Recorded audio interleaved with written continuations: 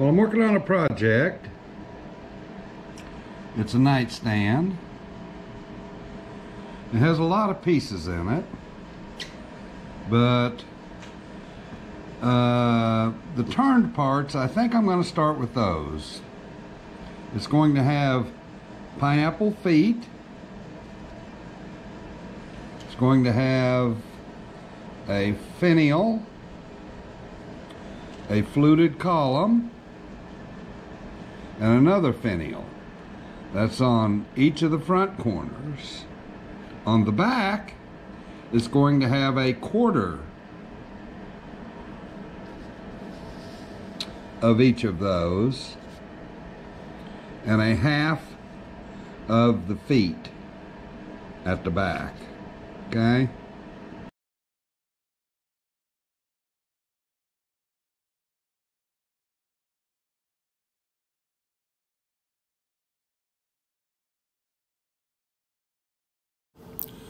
I've had this Shopsmith lathe duplicator now for about two years. I've made several projects on it. Really come to enjoy it. Uh, speaking about freehand turning first, uh, I probably do more spindle turning on it freehand than I do with uh, traditional lathe tools. I just find that it's uh, very, very easy uh, to turn those out. And if you want duplicates, well, if you get it set up right, you can't beat it for making more than one. So good, the majority of the rest of this is going to be covering how to set it up and how I use it to uh, uh, make duplicate parts. But you'll find that uh,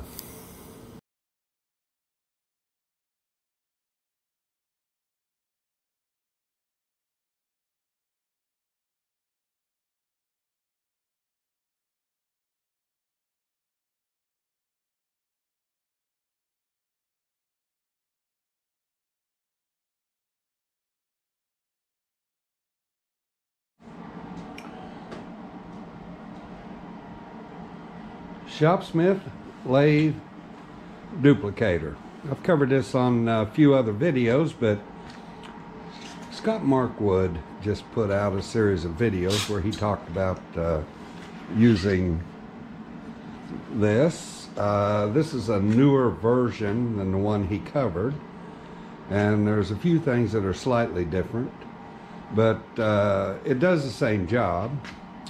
I've been uh, working on some turnings and uh, I'm right at the point now where uh, I'm going to do the the last part on this spindle here. I've rough turned three of the four parts. Uh, so I thought I'd just go through the steps and show which cutters I use to do the different stages of uh, turning on parts and go through a little bit about some of the things I've learned about, uh, well, maybe not tips as much as they are uh, uh controls for setting up this so that it will accurately translate or duplicate the uh, pattern that you have into repeatable parts that are are almost exact duplicates of uh, what you started with. But at any rate, where I'm at right now is I have the duplicator pattern rack set up so that uh, it's uh, uh, it'll do it'll do a part that is let's see how long is this part it's about uh, 18 inches long. An eight, with an 18 inch long part, you want to set it up so that, that this mount here is flush with this end.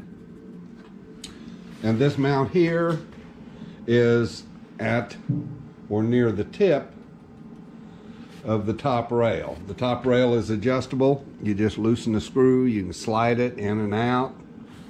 The bottom rail here will hold it in place and of course it's attached to the uh, tubes of the Shopsmith with a clamp on each end. But at any rate, that is set up. And one of the things that I do when I set that up is I make sure that these are perpendicular to the tubes. Okay. And then uh, the part will fit into the lathe like this. Okay. And then the pattern will go up above. Now, there's two types of patterns, and I've I've covered uh, flat patterns in a previous video. Uh, I believe this is the handle for the uh, uh ship's wheel that I had to make uh, eight of. And uh, at any rate, this is set up so that it fits in here. Now you'll notice that this is the center line of the part here. Okay, this is the center line of the part right here. And in this case, I have drilled a hole at the end that is in line with that center line. Well, if you'll look right here, you'll see there's a hole right here that is directly above the center line of the lathe. Okay? It's exactly above it. So if I take this part and install it so that that hole is there and tighten it down, then my part will be exactly centered over the center of the lathe. Okay? But I'm not going to be using a, a flat pattern. I'm going to be using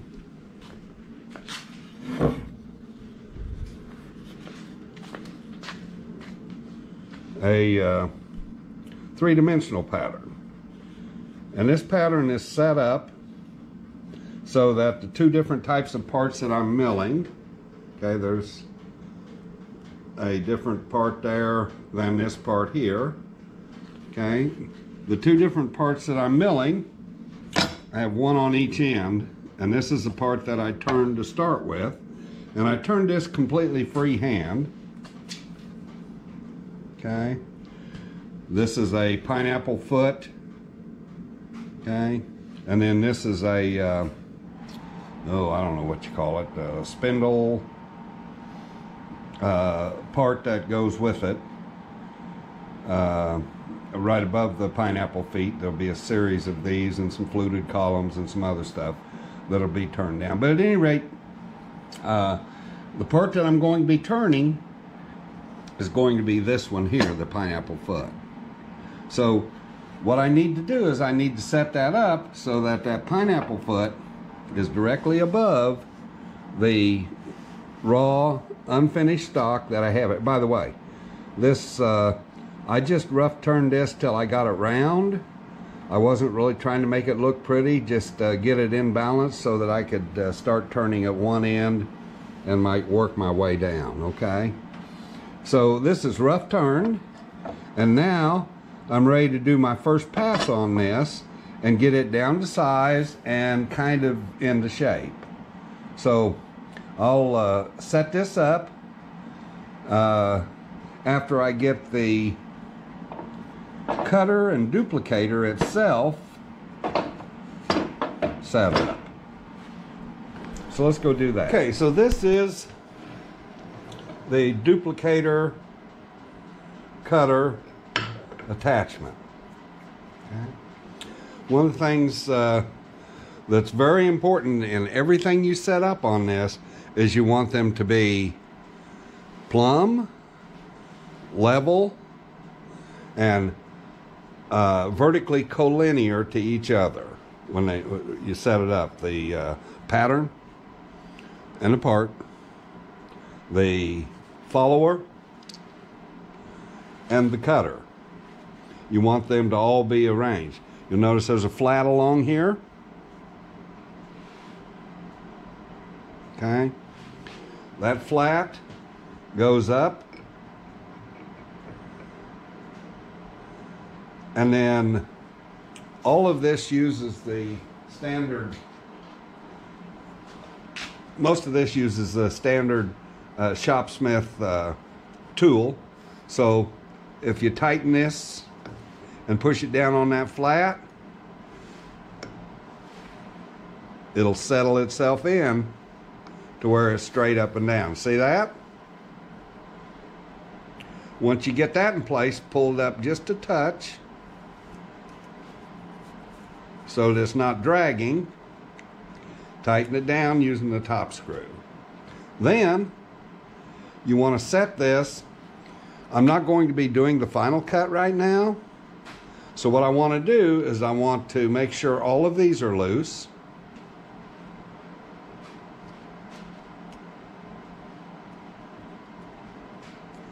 And I'm going to back it off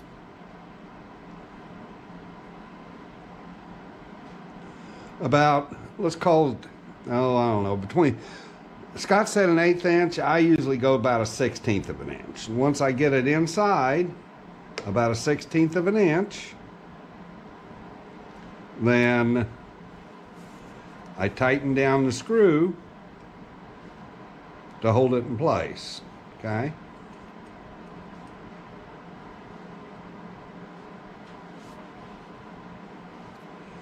Do not tighten the center one at this point. And they don't have to be real tight, just snug them. This will, because this is barely touching it, this will uh, make sure that this stays horizontal. Okay, so it's not twisted. Okay, and then just give it a little snug. Now, mounting the cutter.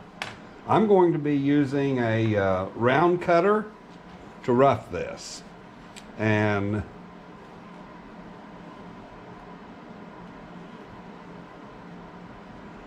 there's a positioner or a holder, whatever you want to call it, here, that is essentially used for any of the cutters that have points on them or flats. But I used it on the round cutter anyway.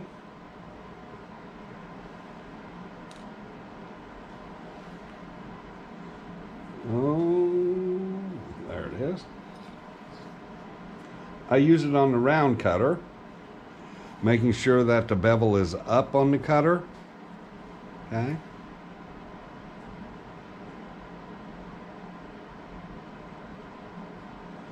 Me get that screw started.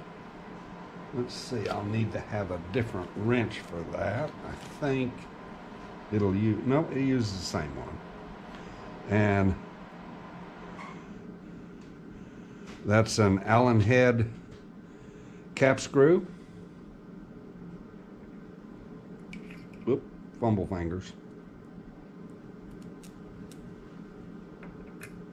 Okay. And I'll just tighten it in. And then press this against it, hold it in place, tighten that one down, and tighten that one down. Now, I'm going to be freehand turning this to get it smooth and halfway down to size. It'll be a lot quicker than trying to uh, follow it. But to make sure I don't go too deep, what I'll do is I'll set this up with the round follower. And as I showed you before, the follower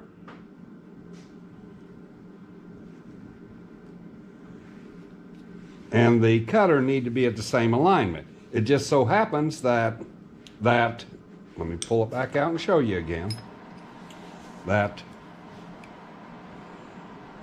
this will let me return it to the same depth.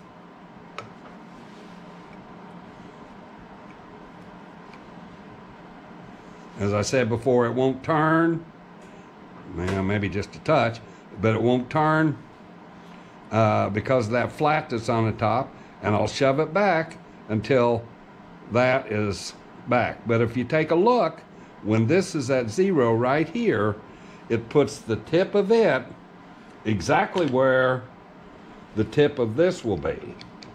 In fact, if you stack these up and you look down through it, you can see that this screw hole here and this screw hole here are perfectly in alignment, okay?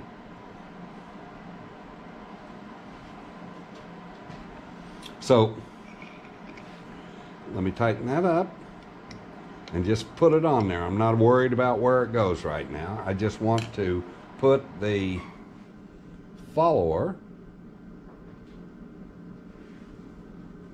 into place.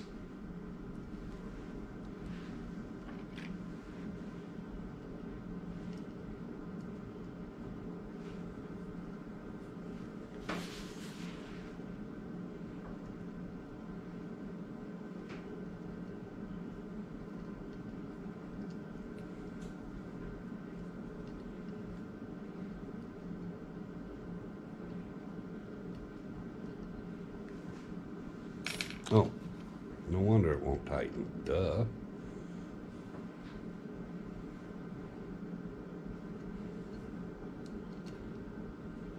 Okay, and that's good enough. It doesn't have to be too tight. The next thing is you need to make sure that this is exactly over the top of this. Okay, and we'll do that when we get to the, that's not the next thing. We'll do that when we get it over to the, uh, uh, duplicator or to the table. Next thing is we want to make sure that this cutter right here is at the same height. Oh, I didn't tighten these yet. Is at the same height as the center of the spindle. Okay? When you're cutting the spindle, you want this to the center of the spindle, and you want this in the center of the patent pattern. So let's go set that up.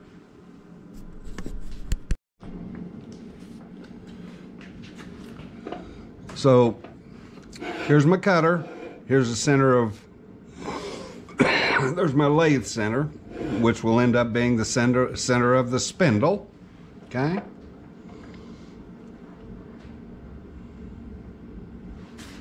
And I want to set them so that they're exactly the same height. If anything, you can be a little bit above center, but best results are to have it exactly at the center. Right there, they're the same height. Lock the table height in place right there. And now I don't have to worry about that anymore. That's set no matter which cutter I put on. The cutters are basically the same thickness and uh, that's ready to go. Now, let's set up the pattern.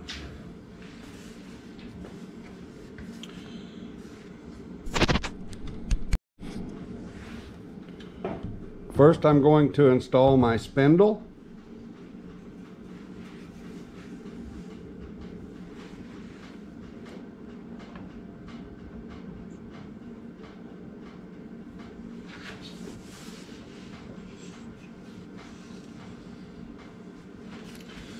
And then I need to uh, install the spindle.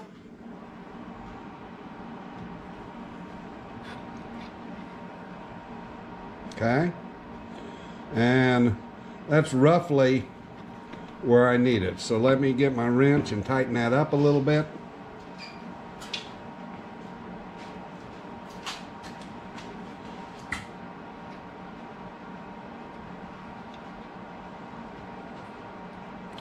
Okay, I want to make sure that's square.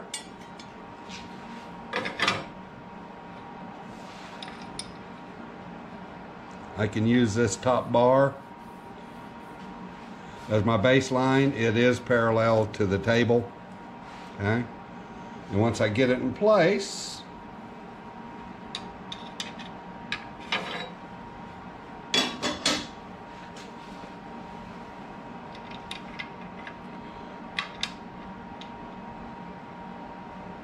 I can lock it. Now, the next thing is I want to align my part with the available stock. Okay. Normally you can gauge from the end here, but in this case, I want to make sure that that this shoulder here is back in this material. I have more than quite a bit more material than I need, okay?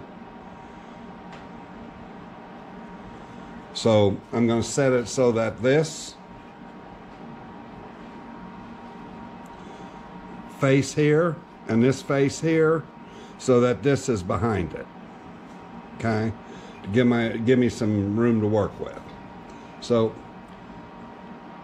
I'm going to put it in here. And let's see, that's I probably have waxed that, but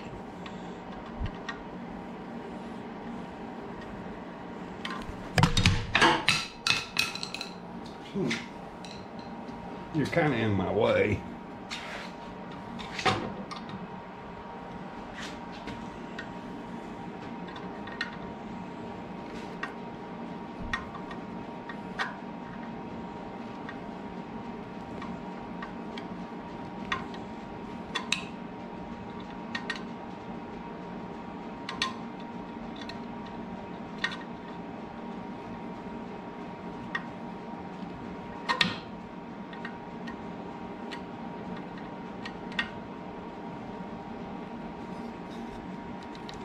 Okay, so now I'll take a uh, longer square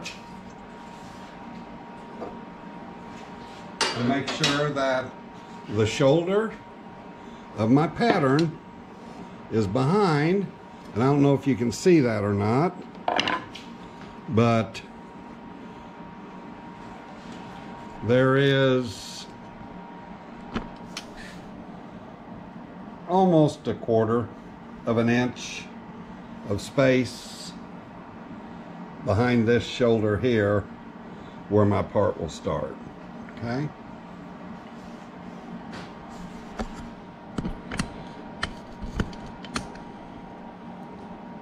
So that's where I'm going to leave my pattern. Uh, each end of the the pattern holder is set up with screws that allow you some left to right adjustment. I like where that's at, so I'm going to tighten this down. And I'm going to tighten this down, make sure that it's snug.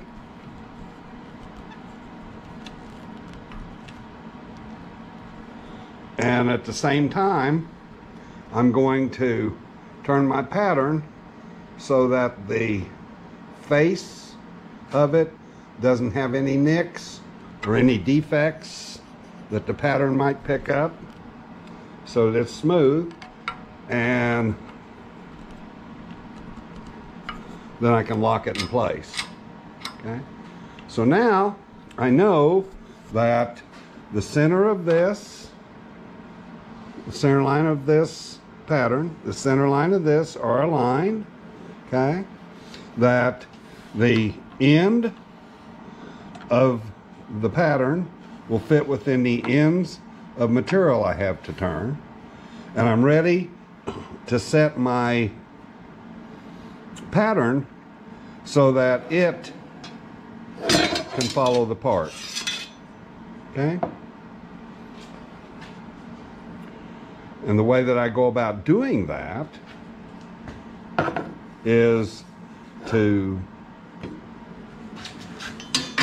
adjust the height up and down. Okay? So right now, I am below center. Me come over here to another place on it where I can actually get to it. As you see, it's below center. So I'm going to raise it up until I get to the center line of the part. Okay.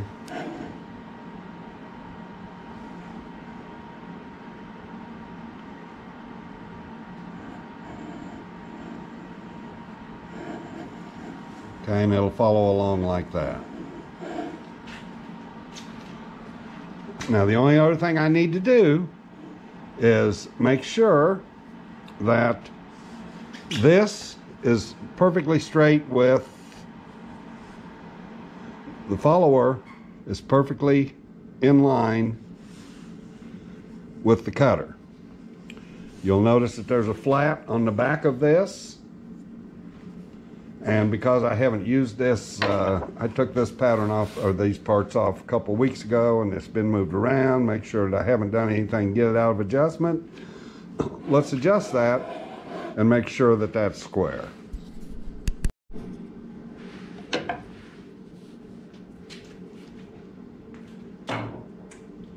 There are a couple of ways uh, to do this.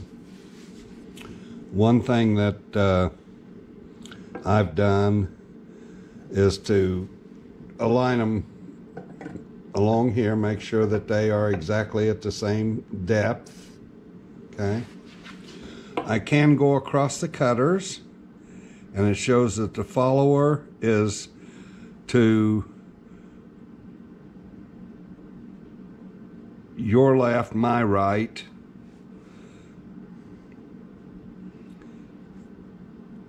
of the cutter. See the gap down here? Okay. The other thing you can do is you can come back here just a little ways farther and you can see that right here it's showing that it is swung to the side also, the same side. So what, what I do is loosen this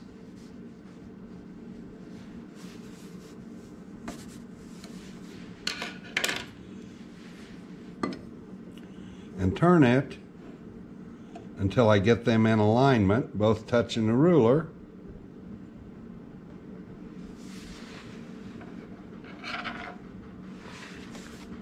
And tighten the screw.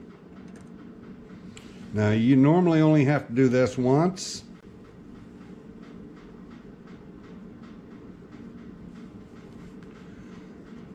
Because there is a flat on the back side here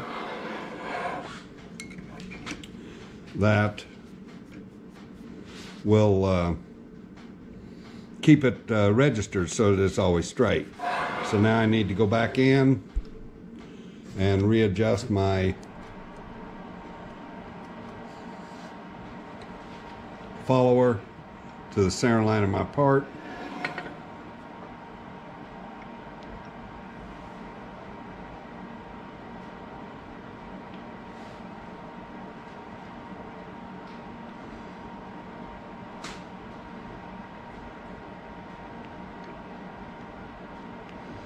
Double check that and it should still be square.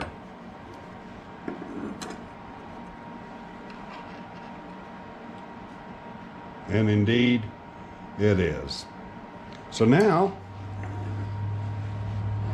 I need to go back through, check everything, make sure it's tight, and uh, I should be ready to start uh, uh, roughing this out.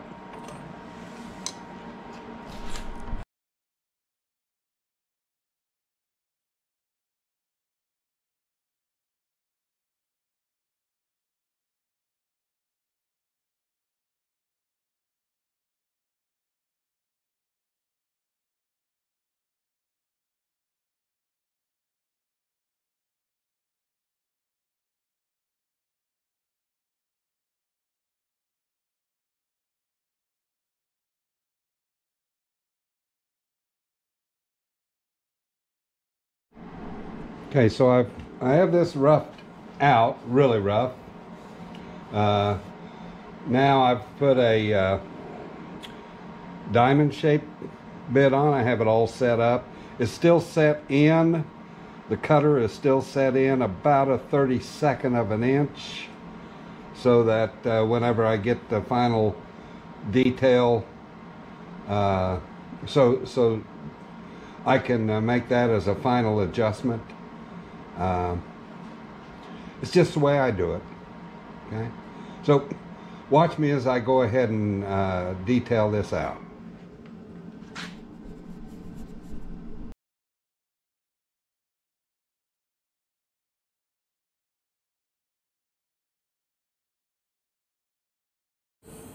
I do most all of my detailing with this diamond tool. I find that uh, the point of it works really, really well whenever you're trying to get down into uh, uh, pretty, pretty tight corners. But I also found that I can use the side of it to do a scraping. So if I am uh, uh, doing a bead, I can take that bead and make it just incredibly smooth using the side of that cutter. So you'll see that I uh, point that uh, uh, duplicator just a little bit different than uh, a lot of folks uh, uh, will tell you that you're supposed to do it. But it works for me.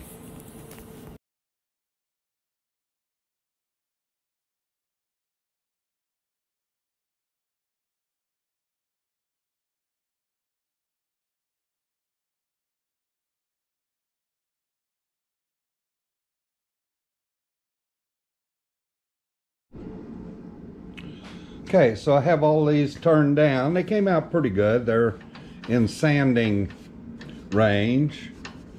And I'll clean those up with some sandpaper. Uh, they match the template pretty well. So the only thing I have left to do is to uh, separate the parts but and size the tenons. I usually put the flat cutter on,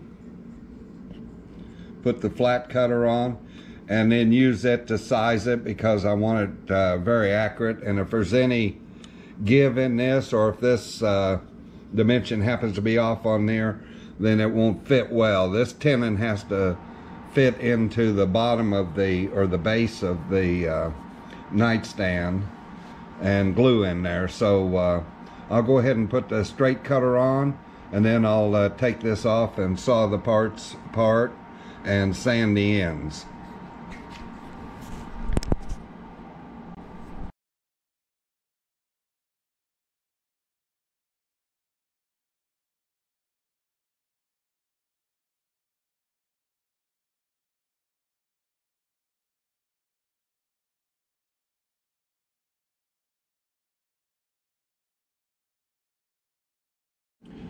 Okay, so that uh, ends up giving me tenons that are just exactly the diameter I need on this part, this part, and this part.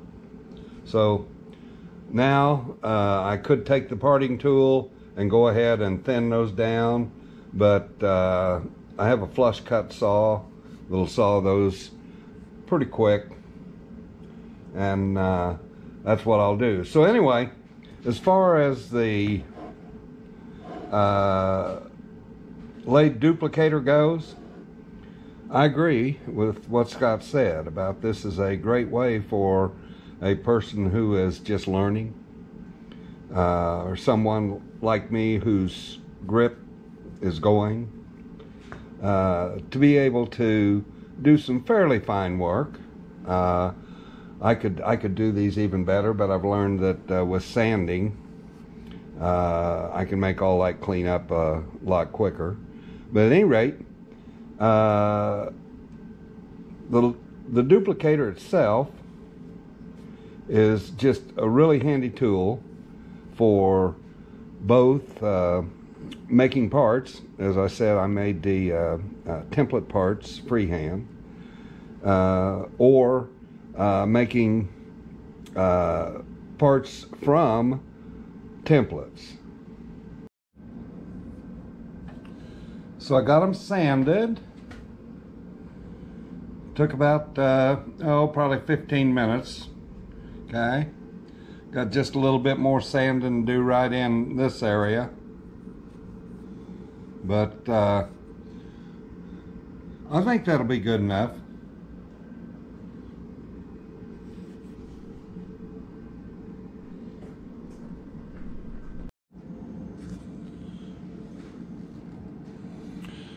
Well, just about finished with this, but I thought I'd give you a few final thoughts on this uh, lathe duplicator.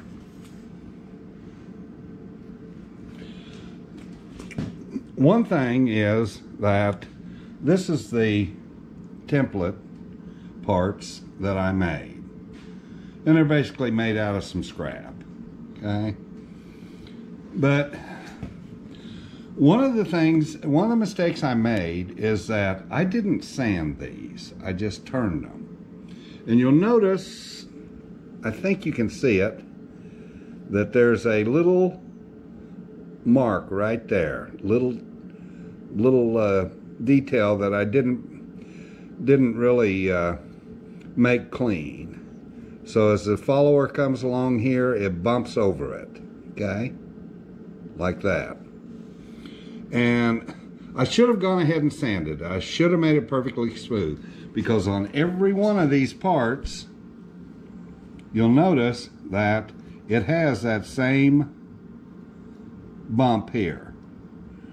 It will copy those parts almost exactly. In fact, if you measure the OD of this part here and the OD of this part right here, you'll find that before sanding, that that they're within five thousandths in every single dimension in height and in diameter okay? So make sure when you make your templates that you make them nice and smooth. You'll notice in this one that it has a nice smooth transition that comes up here okay? There was nothing to pick up on this no real rough areas to pick up and translate into the the uh, parts. So I'll spend a little extra time with uh, sanding down in there where it's hard to get to, but I'll spend extra time with sandpaper trying to get rid of that so I can smooth it out. Here's one here, and you can see that I got rid of most of all of it already. Got a little more sanding to do on it. but at any rate, the uh, Lathe duplicator is really a simple concept. It uh, has the capability of uh, making as many parts as you want that are exact uh, duplicates. And uh, when I made the bed and the chest of drawers, I didn't have it. I had to turn each part by hand using calipers to measure every single dimension. Uh, rulers, calipers, depending on which. Anyway, I had to measure every one. With this, I only have to measure one. Okay? Now think about that. How much time do you spend with a pair of uh, uh, calipers or uh, micrometer or a rule of some kind, trying to figure out just exactly whether or not you have the dimensions right. I get all that time back. And on top of that, it takes no longer for me to make these with the duplicator than it does for me to make them by hand uh, if you take out the measuring part. Making them by hand actually ends up taking longer and the parts are not exact duplicates. So Appreciate you watching, and I hope you have nothing less than a wonderful day.